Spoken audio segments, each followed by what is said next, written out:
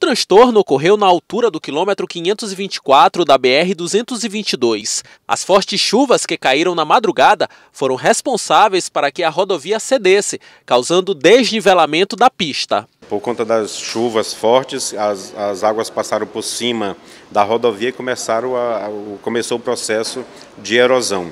É, durante a noite, onde houve o rompimento, as pessoas evitaram passar, apenas carros pequenos, mas pela manhã, quando estava tinha uma visão melhor, todos os veículos passaram. Pela manhã, mesmo com o degrau que se formou, fazendo muitos veículos arrastarem o um fundo, correndo o risco inclusive da rodovia ceder ainda mais por conta do peso dos automóveis, o tráfego não chegou a ser interrompido. Por meio de nota, o DENIT informou que o trecho da BR-222 foi sinalizado e que os devidos reparos já estão sendo feitos.